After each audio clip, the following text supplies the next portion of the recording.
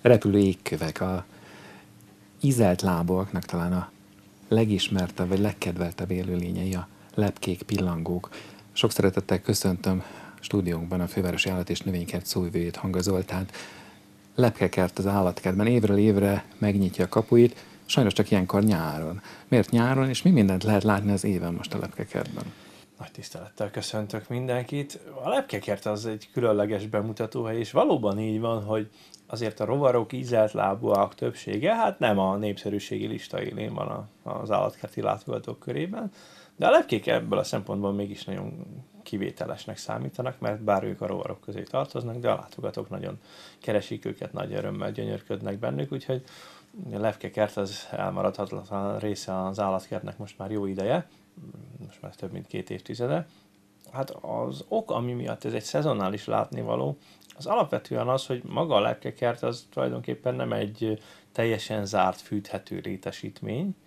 mintha mondjuk a pálmaházat alakítanánk át lepkekerté, hanem arról van szó, hogy a, van egy könnyű szerkezetes pergolaépítmény, és az alatt hálóból egy sátor van építve, és ezzel van határolva az a tér, ahol ezek a trópusi lepkék bemutatásra kerülnek. Ugye a méghajlatunkon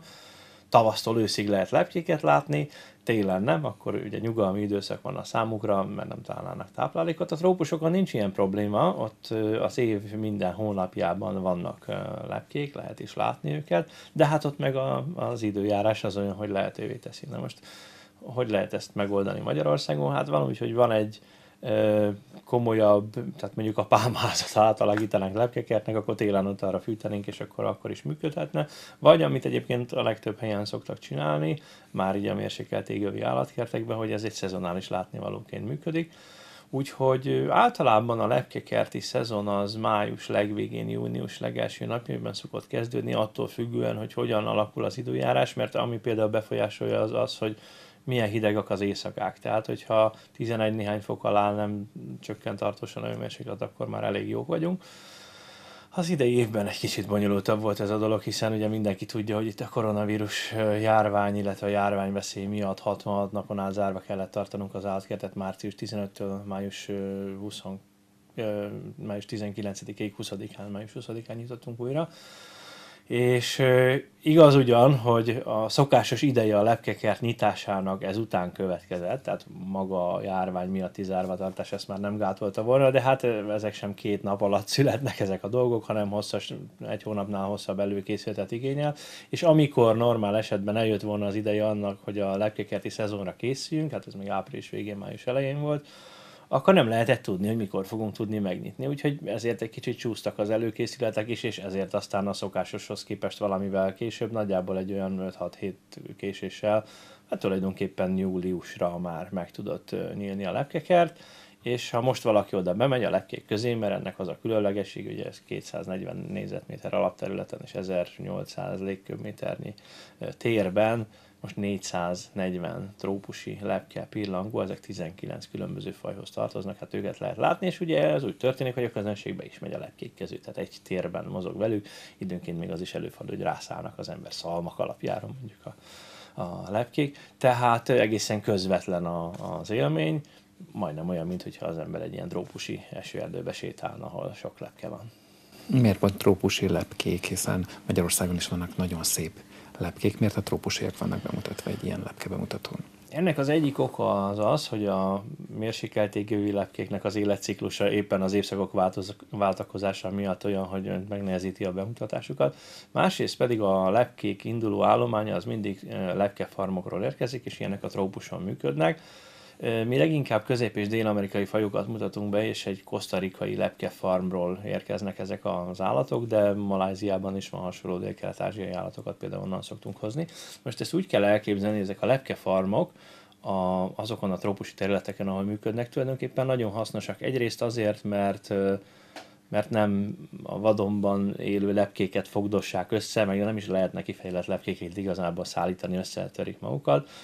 Tehát akkor mondjuk az, hogy nem a bábokat vagy a lárvákat szedik össze a vadonból, hanem, hanem az ilyen lepkekertek igényeit kifejezetten erre a célra szaporított állatokból elégítik ki. Tehát egyrészt ezzel már eleve nem károsul a természet, sőt, még hasznos is a dolog, mert amiket ezekről a lepkékről tudunk, az nagyon sok minden ennek során derül ki. Ráadásul ezeken a területeken a természetvédelemnek nagyon komoly nehézséget okoz, az általános szegénység, hogy hát az emberek nagyon nehezen boldogulnak, és hát ezek között a nehézségek között olyasmit választanak, ami aztán vagy társadalmi, vagy természetvédelmi szempontból nem jó, drogot ter,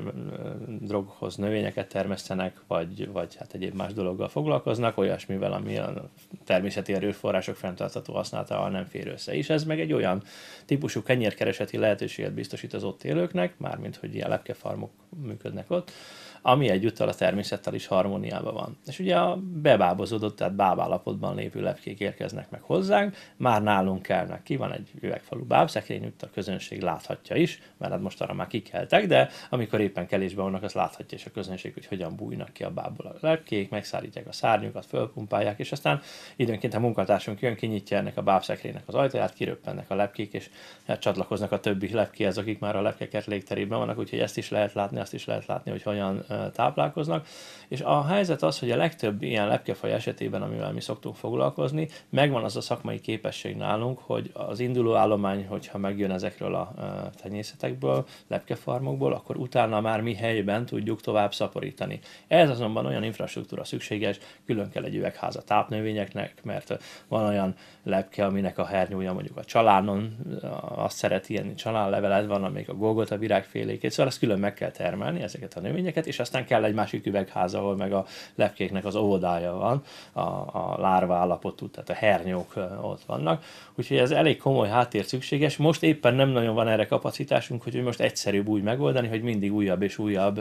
a trópusokról érkező, farmokról érkező bábszállítmányokkal pótoljuk az állatokat, mert ugye a lepkék életének a, ez a kifejlett állapot szinte a legrövidebb szakasza, úgyhogy ez általában néhány hétig, egy-két hónapig tart ezeknél a fajoknál a természetben is. Köszönjük szépen, hogy befáradt a stúdióba, és kedves nézőink, nézzenek meg most még egy pár képet a Fővárosi Állat és Növénykert lepkekertjéből. thank you